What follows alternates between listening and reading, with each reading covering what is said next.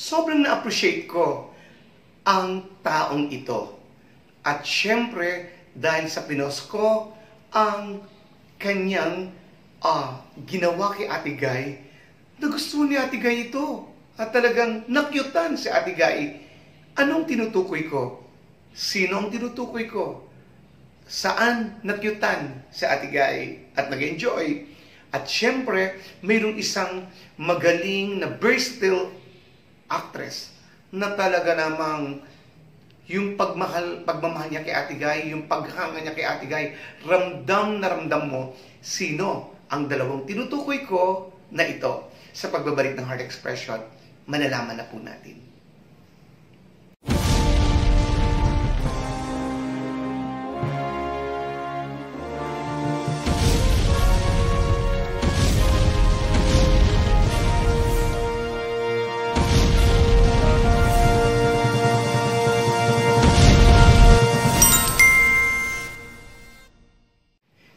Ka-heart expression, kumusta po kayo? Nawa po'y nasa mabuti tayong kalagayan. Ito po si Ferdy R na nag-aanyaya sa inyo na please panoorin po natin ang video na ito, tapusin at isubscribe ang YouTube channel na Heart Expression at gain din po ang YouTube channel ng ating mahal na superstar, national artist na si Miss Nora Honor. At paalala lang, alam po natin na mayroong padating na masamang panahon, bagyo. Ingat-ingat po tayo at patuloy tayong manalangin sa Panginoong Diyos na nawa po ay iligtas niya tayo sa padating na sakunang ito o panganib at mapagtagumpayan natin ito at mawala na ang bagyong ito. Ayan. Sa pagpapatuloy, alam niyo po, tuwang-tuwa ako dahil sa na-appreciate ng ating kaibigan sa Facebook at syempre kaibigan na rin natin dahil isa siya sa nagmamahal kay Miss Nora Honor.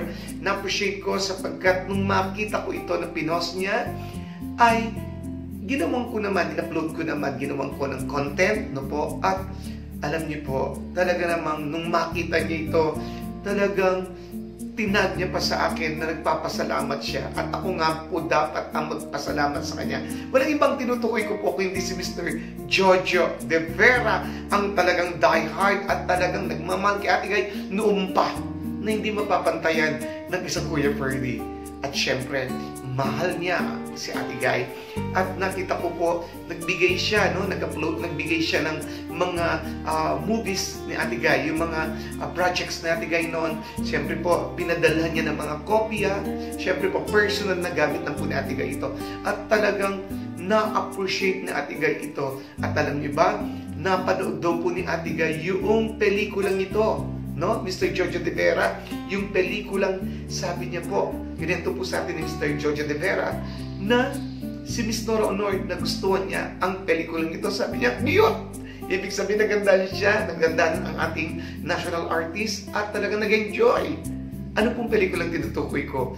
Ang pelikulang Pag-ibig mo ay awitin ko na idinirect ni Mr. Eddie Rodriguez na siya rin kapartner ni Ate Guy, si Mr. Eddie Rodriguez noong 1977. Alam ko po ito eh. Bata pa lang ako noon. Naririnig ko sa program ni Kuya Germs yung awit, Pag-ibig mo'y pag-ibig ko'y awitin mo. Tararararararan, tarararan. Yun po. Tapos, pag-ibig ko'y awitin mo. Ayun, nasa tono ba? Ayan. At talagang cute yung song at sa nawa magkaroon tayo ng magka ng kopya dito at mapanood natin, no? Sana ma-upload sa YouTube. Maraming salamat po, Mr. Jojo De Vera. God bless you.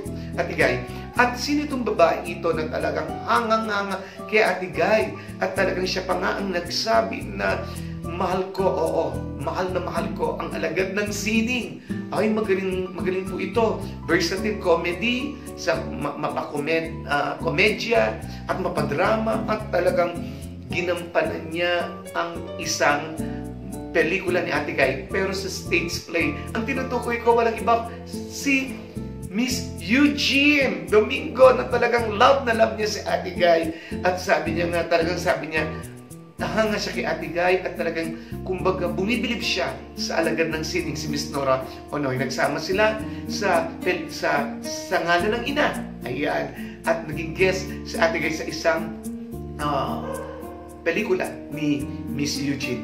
Pareho silang talagang naging close sila, humahanga sa isa't isa at nung stage play na Bona, ito po ay ginampanan ni Miss Eugene Domingo na syempre ang original si Miss Nora Honor. At doon nagsimula, lalo pa na naging close sila. Yan po ang ating mga balita. Ngayon, Miss Eugene Domingo, maraming salamat sa pagmamahal kay Ate Guy. At Ate Guy, ikaw lang ang superstar ng aming buhay, ang aming national artist. Ito po si Kipper DR na nagsasabing, as long as there is love, we will stand and to God be the glory. Maraming salamat po. God bless us all. Thank you and mabuhay. Please like, subscribe, hit the bell button.